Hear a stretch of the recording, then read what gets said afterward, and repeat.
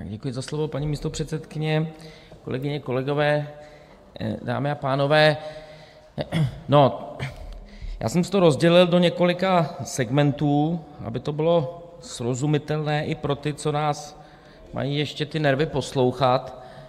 první poznámku si ale nemohu odpustit, je to druhá nebo třetí velmi důležitá věc, kterou tady probíráme za posledních čtrnáct dnů, ten sál je poloprázdný, z ministrů jsou tady jenom dva, kterých se to týká, ministryně obrany, a zbytek ne, přitom tady tedy lítají desítky miliard korun, a pak se všichni vrátí do sálu až těsně před hlasováním, já jsem tomuhletomu přístupu koalice a ministrů rozuměl, když tady byli, a my jsme to i dopředu třeba řekli, že budeme některé věci obstruovat, tak tomu já rozumím, ale tady, jak už bylo řečeno několikrát, já jsem to říkal opakovaně u windfall tax a teď tady u toho, my můžeme vyjádřit zásadní nesouhlas, stejně tak jako u rozpočtu, ale nikdy to obstruovat nebudeme, přihlášeno je šest poslanců, dobře, šest poslanců, pět tam bude načítat nějaké pozměňovací návrhy, to znamená, to není dvacet poslanců nebo pětadvacet, a přesto vlastně ten zájem o tak důležitou normu je tak malý,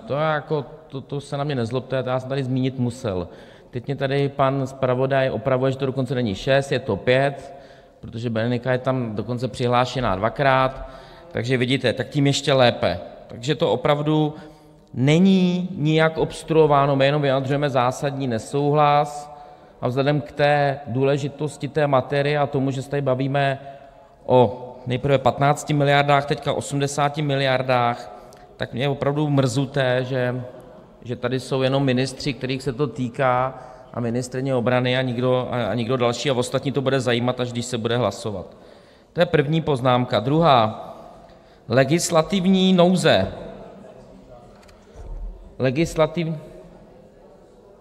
Ano, poprosím, aby ti, kdo potřebují hovořit, odešli do předsálí, týká se to teď zejména levé části, a poprosím, aby každý hovořil na mikrofon, kdo chce hovořit v tomto sále, tak prosím. Pokud jde o legislativní nouzi, k tomu pár poznámek, za prvé, my jsme některé ty věci, já tady nebudu opakovat, trochu to změním ten text, protože jsme měli něco připravené, a nebudu tady opakovat to, co říkal Karel Havlíček nebo Alena Schillerová, my jsme některé ty věci a ty recepty tady říkali v lednu, v únoru, březnu, vy jste je opakovaně odmítali, pak k tomu přistoupíte až na poslední chvíli a pak říkáte, že nemáte čas, a to jde opravdu hluboce, to je v rozporu, to jde proti sobě, ne, to jde, pane ministře, nerušte, pak se přihlaste, vy se nepřihlásíte, vy to tady komentujete mimo mikrofon a to se pak jako těžko vůči tomu oponuje, já vím, že vy řeknete, že rozhodnutí na evropské úrovni bylo schváleno 6. října, ale je pravda, že vy jste některé ty věci mohli prostě udělat ještě předtím, vy se neustále vymlouváte na Evropskou unii, je tady celá řada zemí, které některé ty věci rozhodly dávno předtím, my jsme jedna z mála zemí, skoro bych řekl jediná, která vždycky jako čeká, co přijde z Evropské unie, nakonec, jak tady řekl pan ministr stejně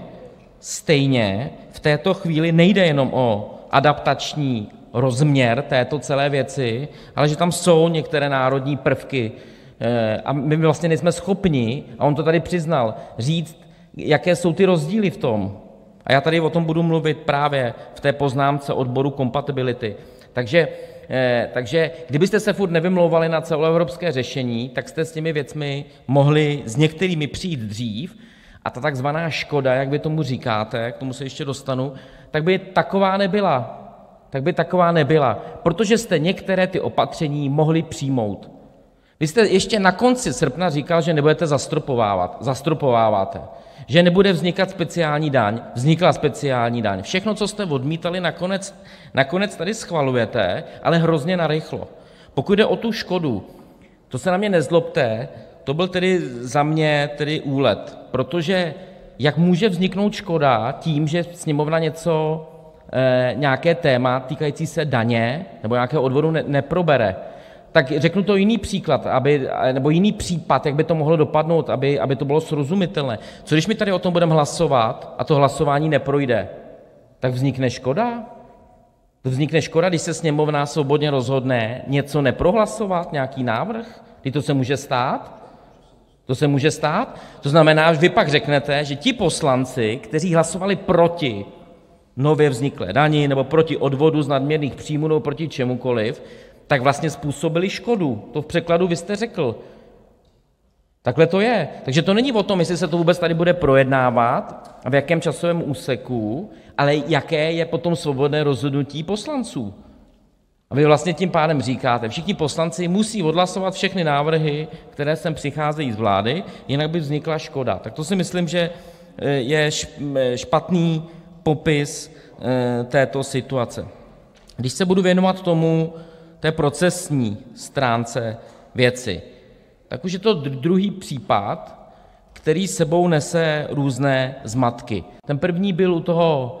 windfall tax, o tom jsem tady mluvil, jsme ho tady projednávali, kde to vlastně byl původně vládní návrh, nakonec se to vlastně proměnilo v rámci rychlosti na poslanecký návrh. Zbyňka Stanjury, k tomu poslaneckému návrhu tady dávali jiní poslanci koalice svoje pozměňovací návrhy, aby těsně před hlasováním ve třetím čtení je různě stahovali. To znamená, do poslední chvíle, to je ta předvídatelnost práva, by člověk řekl, nebylo jasné, jak to bude vypadat. V této chvíli, a tady to běží paralelně v zásadě, je to úplně totéž. Teď je to sice vládní návrh, ale jsou tam zase, je tam pět poslaneckých pozměňovacích návrhů koaličních poslanců. Takže zase, zase vy sem vlastně dáte něco, co pak dotváříte až v té Poslanecké sněmovně. A já vám klidně vytáhnu ze stenozáznamu, že to byly přesně tyhle věci, za které jste tepali předchozí vládu. A já doufám, že to kolega Adamec přizná, že sem přijde vládní návrh a potom vládní poslanci tam dodávají pozměňovací návrhy, aby ho dotvářeli. A vy teď děláte úplně totéž. Opozice potom díky tomu, že to je v legislativní nouzi a je to všechno zkrácené, tak opozice má potom velmi omezené možnosti, jak do tohohle toho celého procesu, jako aby byla vtažena, jak do toho celého procesu kromě nějakých vystoupení, která tady máme a která stejně koaliční poslanci a ministři neposlouchají, tak abychom do toho my dali nějaké svoje podněty. Vy vlastně jste tímhletím, to se na mě nezlobte, vynecháváte Poslaneckou sněmovnu. Je to tak. A my jsme jasně řekli dopředu, já jsem vám to řekl tady na chodbě na mikrofon, že jak u windfall tak u tohohle toho nejen že nebudeme a nemá se ani obstruovat, ale že budeme a jsme ochotni přistoupit na různé zkrácené lhůty. To tak je. To znamená, že se nemůžete vymlouvat, že by někdo řekl: Vy jste nám nechtěli zkrátit lhůty. Není to tak. Takže vy jste sem normálně mohli přijít a domluvit se, ale to je o té komunikaci. Vy to sem říznete v legislativní nouzi a potom to doháníte poslaneckými pozměňovacími návrhy. Já jsem myslel, že kolem toho windfall že jsme si to odehráli, a teď se vlastně děje totéž. Tom materiálu mimochodem z toho Úřadu vlády, z odboru kompatibility, je jasně napsáno, že zcela chybí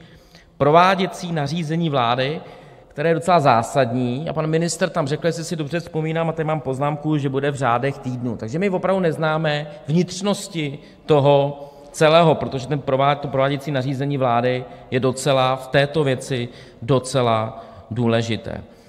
Když se podíváte na ty poznámky tohoto odboru, tak tam je zcela jasně napsáno, a to není slovo opozice, to je slovo odboru, který sídlí na Úřadu vlády, že předkladatel nepředložil rozdílovou tabulku, srovnávací tabulku, není z toho jasně zkontrolovatelné, která ustanovení zákona jsou adaptační, o tom jsem já mluvil, to tady koneckonců pan ministr Šalomoun přiznal, a která jsou ryze národní povahy. Není tady vůbec vyjasněn vztah k tomu windfall tax. A k tomu se dostanu, o tom už mluvila Alena Schillerová, já jsem se na to ptal na rozpočtovém výboru. Tady vlastně se přijaly dvě takové normy, kde ta kde tahleta podle mě je lepší v tom, že se jí nelze vyhnout nějakou daňovou optimalizací, zatímco windfall tax lze samozřejmě obejít, nějakým způsobem daňově optimalizovat, my jsme tady o tom hovořili. Ono na naše slova dochází. Vy jste prapůvodně přišli s tím, že to bude dohromady 100 miliard, rozdělený přibližně 85 windfall a 15 tenhle ten odvod. V této chvíli to vypadá díky snížení inkasa daně, nebudu tady vysvětlovat ten důvod, ty procesní věci, došlo k tomu, že teď je výhled úplně opačný, ten poměr je úplně opačný. To znamená, z windfall tax se nevybere 85, ale odhadem 45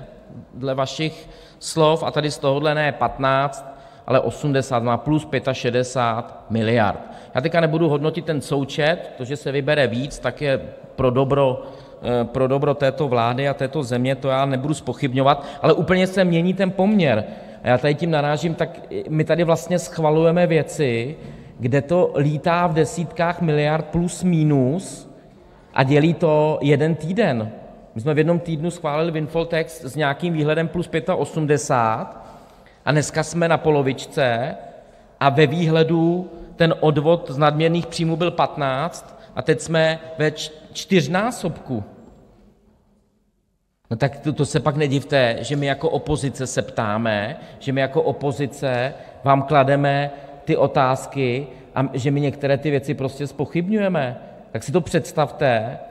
jak byste, vy byste tady, jako vy mi tím chcete říct, že kdybychom to tady navrhovali my, tak vy byste tady seděli v těch lavicích a mlčeli, vy byste se neptali, vám by to bylo úplně jedno, že jeden týden je to 85-15 a druhý týden je to 45-80 v tom poměru? Ptali byste se, samozřejmě, ale teď se tváříte, jako že to je úplně v pořádku. Já už tady nebudu, to už tady kolegyně rozvedla až moc, jestli to je daň, není to daň, prý je to, já jsem se na to ptal pana ministra, tak tady se k tomu nebudu vracet, jestli jde o daň, nebo o regulaci výrobních cen, to je si myslím, že v té chvíli jedno. U čeho bych se chtěl zastavit opakovaně, je, že stále jsem nedostal odpověď na otázku, kde na základě evropského nařízení, které umožnilo ty dva režimy nějakým způsobem vyřešit tu energetickou krizi, a vy jste vlastně udělali takový mix, tak jestli byste mi to mohli vysvětlit. Ten jeden je solidární příspěvek, což byl ten windfall tax, který se měl týkat oblastí, jako je ropa, zemní plyn, uhlí, rafinace, a to druhé je omezení těch tržních příjmů,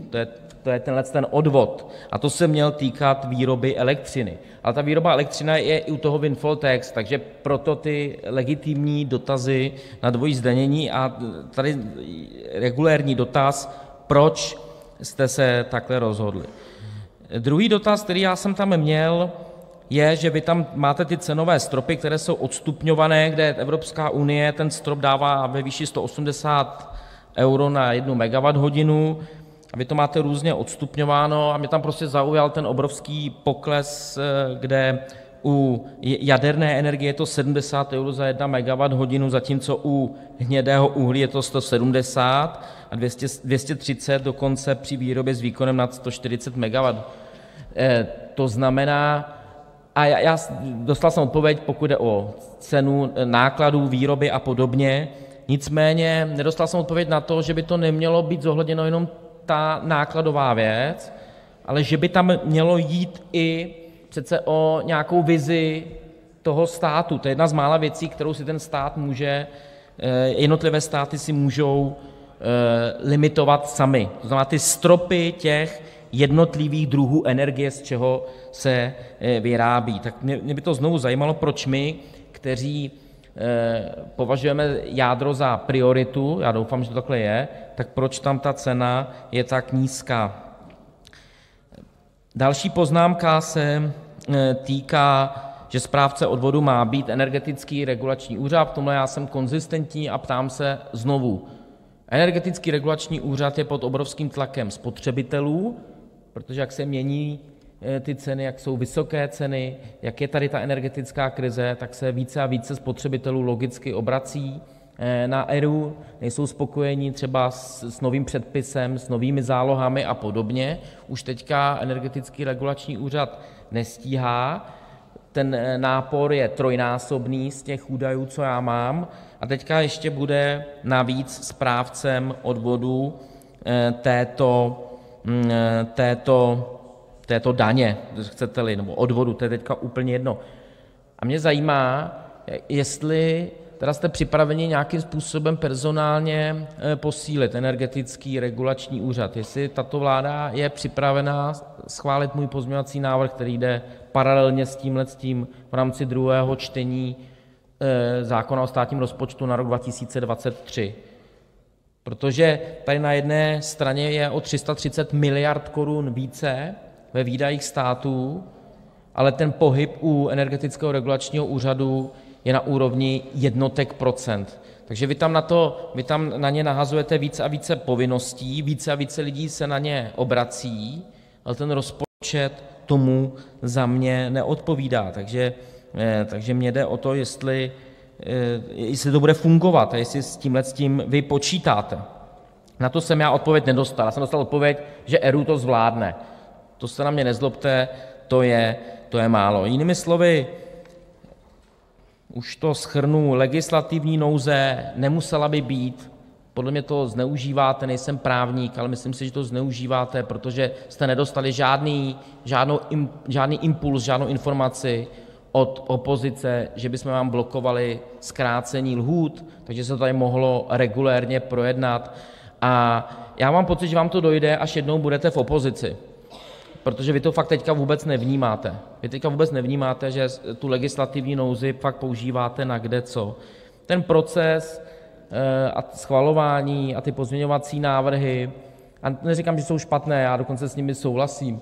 ale ten proces prostě si myslím, že takhle probíhat u takhle robustní věci, a říkal jsem to konzistentně u windfall taxu a říkám to i teď, by takhle probíhat neměly. U takhle velké věci by to měl být vládní návrh a k tomu by měly dát pozměňovací návrhy především opozice, možná nějaký poslanec koaliční, ale takhle je vlastně evidentně jasné, že ty koaliční poslanecké pozměňovací návrhy jsou v zásadě vládními návrhy, které jsou tady načtené prostřednictvím poslanců. Ty částky, které to má přinést, jsem tady četl. Je to za mě nepředvídatelné a skoro bych to chtěl ukončit, že kdyby vy začali tímhletím, tak ten windfall tax tady vůbec nemusel být, jak jsem řekl, ten lze obejít, a už při svém projevu u windfall jsem říkal, že těch 85 miliard vy fakt jako nevyberete, ale to jsem myslel, že se k tomu dobereme třeba příští rok, k těm číslům, ale vy to vlastně už přiznáváte po týdnu po schválení, že těch 85 miliard nevyberete, takže za mě šlo a jde o takovou duplicitu a já budu rád, když pan ministr najde sílu a bude odpovídat na mikrofon, kromě těch poznámek, které tady má, mimo u toho svého stolu. Děkuji za pozornost.